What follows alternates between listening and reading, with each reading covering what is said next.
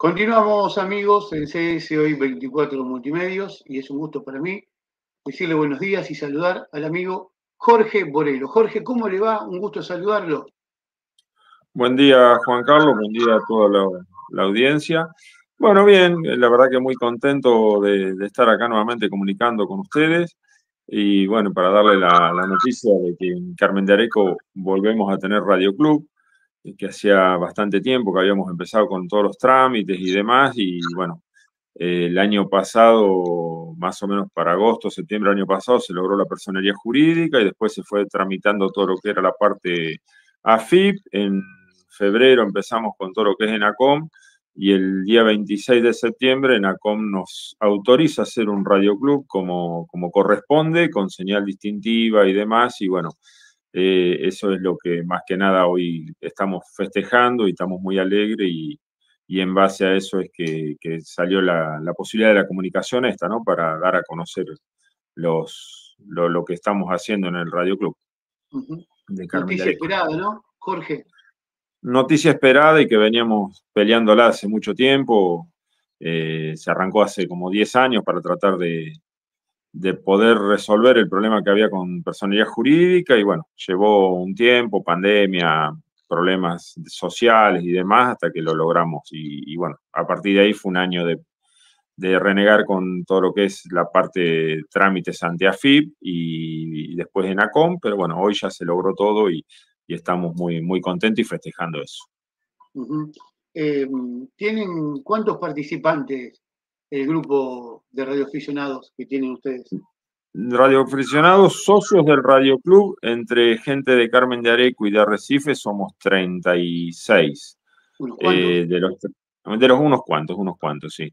Eh, el tema es que en la zona últimamente no quedó ningún radioclub porque la mayoría han ido teniendo problemas con personalidad jurídica y demás, que eso eh, no es fácil mantenerlo y bueno, eh, lamentablemente, hoy en la zona somos uno de los pocos radioclub que hay. Eh, de hecho, habíamos estado en contacto con gente de Capitán Sarmiento que estaban en su momento por armar un radioclub en Capitán Sarmiento, pero bueno, no se pudo, no pudieron ellos y nosotros veníamos con todos los trámites ya iniciados y bueno, se siguió trabajando hasta que logramos hacer este, este radioclub acá en Carmen de Areco. Eh, reflotarlo era antiguamente, hoy ya tenemos el Facebook, hoy ya es LU9 DSA, que es la señal distintiva que nos otorgó en ACOP. Jorge, no es tener el dinero para comprar los equipos y listo, ¿no? No, la verdad que ser radioaficionado eh, es un curso, hacer un curso que tres, cuatro meses. Después los equipos, de acuerdo a dónde quieras comunicar y qué quieras comunicar, eh, no, no, son caros. Eh, el, el tema de la radio eh, es que por ahí no es fácil conseguir gente porque nos ven como que somos obsoletos, estar atrás de un micrófono gritando para ver si nos podemos comunicar con alguien del otro lado del mundo. Y por ahí muchos no entienden que la radio es también hacer comunicación vía satélite, es experimentar, es tratar de comunicar con la estación rusa, es tratar de comunicar con gente que está eh, en la Antártida o en alguna isla.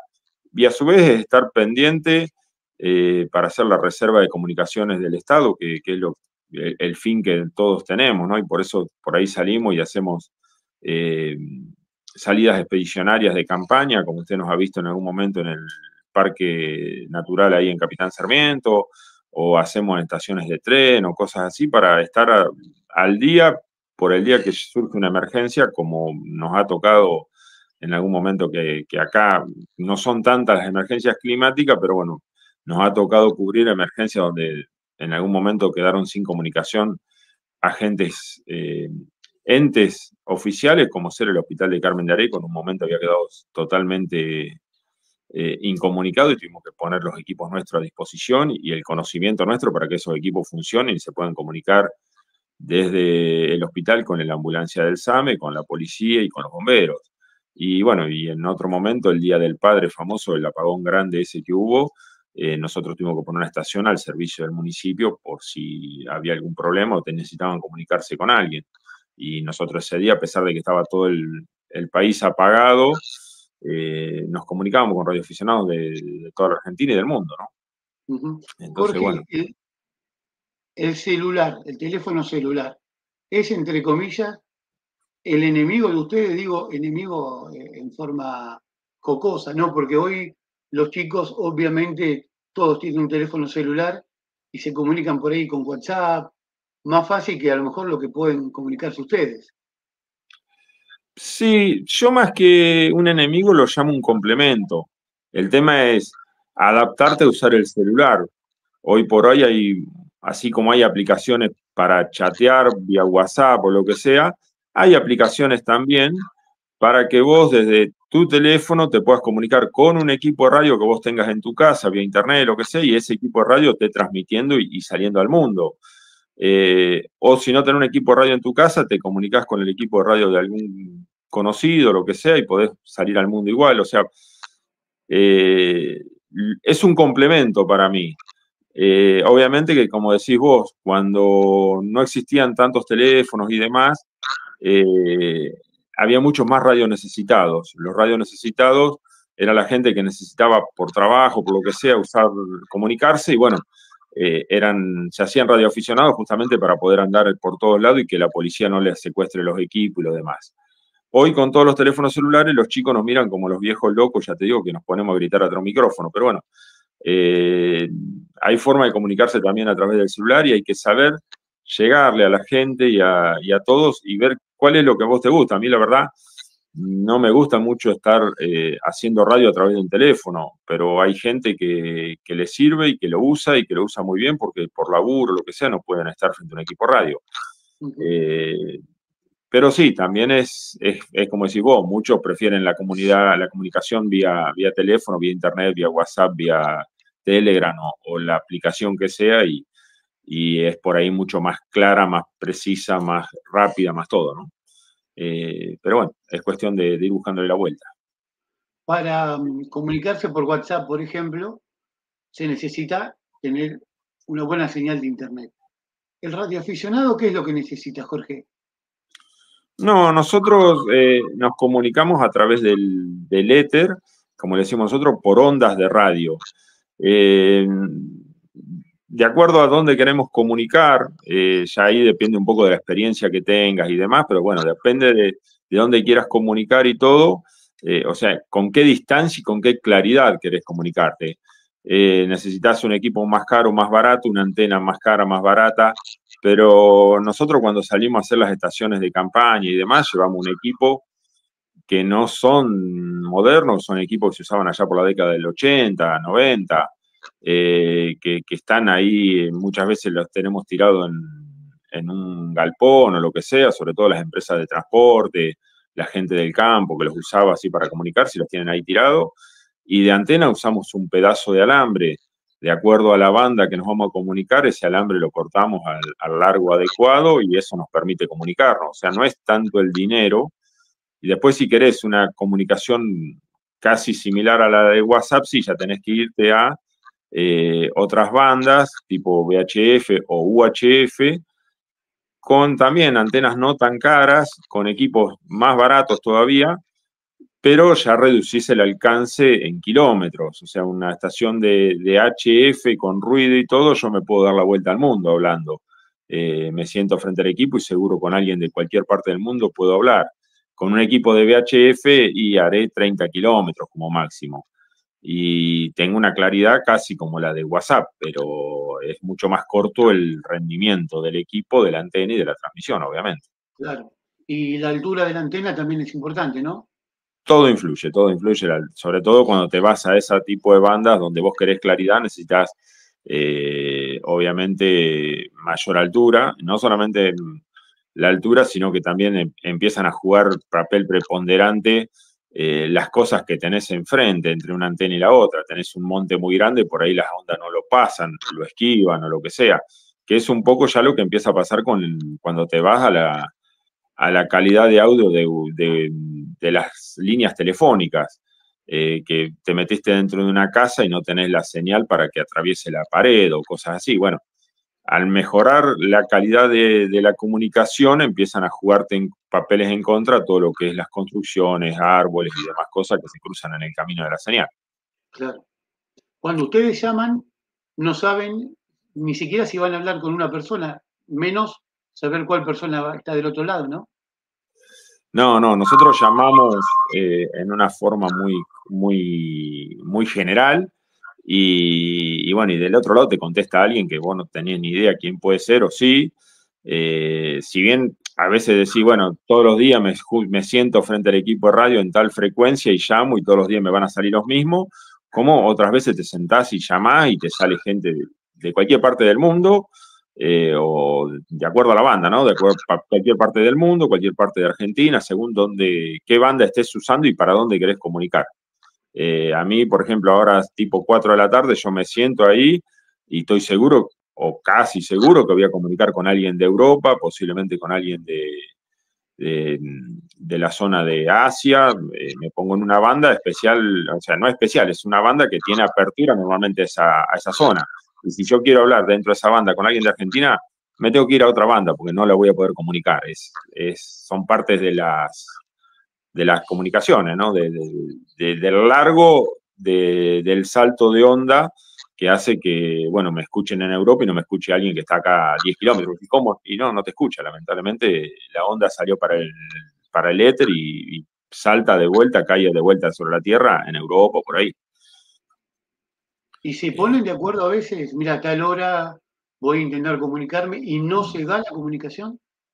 Sí, sí, sí. Ahora, por ejemplo, justamente en este momento estábamos tratando de hablar en la banda esa que yo te digo, de, que haces 20, 30 kilómetros con gente de arrecifes. Yo estoy en Castilla en este momento, a unos 70, 80 kilómetros de arrecifes. Eh, ellos instalaron un sistema repetidor con altura, con todo, debería yo poder llegar a, comunicarme y no, de rato los escucho, de ratos no, y ellos a mí directamente no me escuchan. Eh, y bueno, pero, pero estamos en prueba, estamos tratando de solucionar, son momentos en que vos instalás algo y querés hacer las pruebas y error y probás. Y, pero después eh, normalmente salís a llamar. Después sí hay gente que eh, por trabajo, por edad, por lo que sea, suelen estar mucho tiempo parados o sentados o lo que sea frente a un equipo de radio, entonces ya tienen como una conversación de amigo, como el que dice todos los días, después del laburo me voy al bar y me tomo una copa y charlo un rato con mis amigos, bueno, todos los días a las 10 de la mañana, a las 11 o a la hora que sea, prendo el equipo de radio y sé que va a salir Juan, Pedro y tal otro, y bueno, eh, ya es un, grupo de amigos, como si fuera una charla en un café o en un bar, pero es a través de la radio. Jorge, ¿se traslada la pasión por ser radioaficionado entre familia? Sí, en parte sí. Yo conozco varios radioaficionados que sus hijos son radioaficionados. Eh, de hecho, mm, a mí me gustó la radio porque un tío mío era radioaficionado, mis hijas son radioaficionadas. Y en otros casos no. Eh, en otros casos vos ves que hay gente que, arranca haciendo radio porque le gusta, porque siente la necesidad de comunicarse. Eh, porque le apasiona un poco el tema de la experimentación y demás. Y bueno, lo que pasa es que nosotros esto de la radio lo llevamos medio en la sangre, o sea, es, ya una... Eh, o sea, lo llevamos en la sangre, no, no, no, nos puede, es como cualquier otro hobby que a uno le apasiona y, bueno, es así. Sí, sí. Lógicamente es como todo, ¿no? Como si usted es hincha de un equipo de fútbol, no necesariamente su hijo tiene que ser del mismo. Si a usted le apasiona esto, no necesariamente a los familiares le tienen que apasionar, ¿no?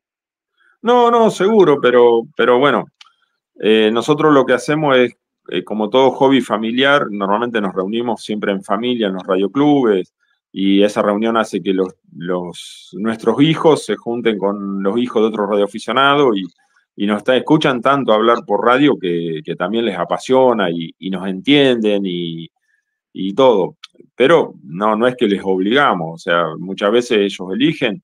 Mis hijas cuando eran más chicas eh, vivían hablando con radio, por radio conmigo y hoy eh, lo usan poco al equipo, pero el día que tienen ganas me dicen, pa, podemos eh, salir y hacer una actividad, o podemos hacer esto, podemos hacer lo otro y, lo hacemos. O por ahí se sientan frente al equipo radio y se ponen a llamar ellas. Y bueno, el equipo en mi casa siempre está, siempre está ahí a mano, así que es así.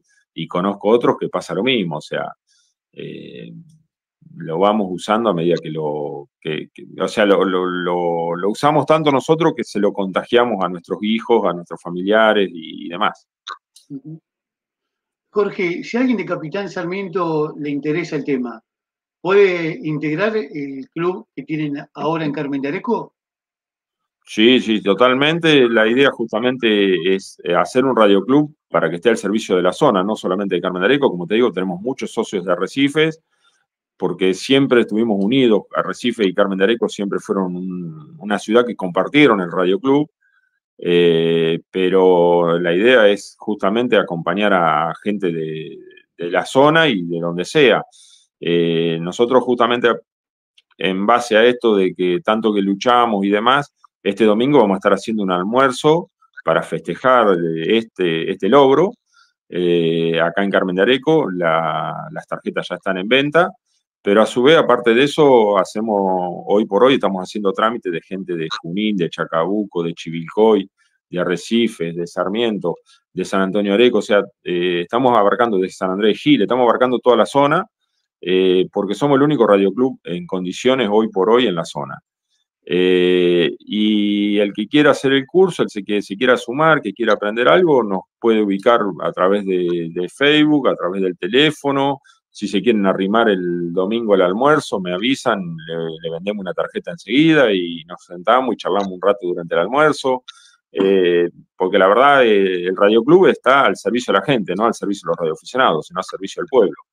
Eh, en algún momento, como te digo, estamos al servicio del pueblo y en algún momento cuando fue lo, de los incendios en Corrientes, nosotros conseguimos un transporte para llevar mercadería y cosas a Corrientes. Primero el transporte y la organización logística, quien lo recibía allá, y después salimos a juntar cosas y mandamos eh, bastantes cosas para Corrientes. Después en otro momento de un par de instituciones de Carmen de Areco me ofrecieron cosas para donar y bueno, salimos primero a buscar a ver quién las precisaba y cómo las podíamos transportar y después recolectamos de dos o tres entidades cosas que tenían ropa sobre todo y las mandamos eh, también a Corrientes, justamente por ahí no se difundió tanto porque fue algo medio privado y sin el apoyo de, sin pedirle apoyo a la gente, sino que fue solamente charlar con, con la persona que lo necesitaba, charlar con el transporte y, hablar con las instituciones y mandarlo. Sí se hizo una pequeña publicación donde para que las instituciones se queden tranquilas que las cosas se entregaron en, tiempo y forma, pero eh, la idea de los radioclubes es justamente estar al servicio del pueblo, de la comunidad, de la gente, y bueno, eh, eso es lo que tratamos de hacer. ¿Algún número de teléfono, Jorge, para quien ve la nota y quiera comunicarse? Sí, el número de teléfono mío es 236 452 0800. Y si no, bueno, por Facebook, ahí a través de LU9 con, eh, con letras, LU9DCA, eh, que es la señal distintiva del Radio Club. Y si no ponen Radio Club Carmen de Areco, calculo que, debe salir también. La verdad que no, no lo he buscado como Radio Club Carmen de Areco, pero debe salir seguramente algún link que te lleve a, al Facebook o al Gmail o a alguna de las cosas del Radio Club. Sí, probablemente. Jorge, quiero decirle que compartimos la alegría ¿eh? que tienen ustedes.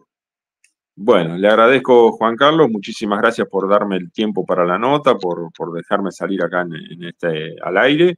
Y bueno, el cordial saludo para usted y para toda la gente que lo acompaña y que lo está viendo, todos los televidentes y, y hoy escuches. Gracias, Jorge. Le mando un abrazo grande. Hasta luego, cordial saludo. Muchas gracias. Gracias. Hasta luego. Bueno, amigos, así hablábamos con Jorge Borelo, la gente de Carmen de Areco está de parabienes, ya eh, tienen su grupo de radioaficionados, como decía Jorge, lo lucharon, lo pelearon durante muchos años y ya están avalados y, eh, por supuesto, van a celebrarlo, como contaba, este próximo domingo. Nosotros somos CS Hoy 24 Multimedios y como siempre te acompañamos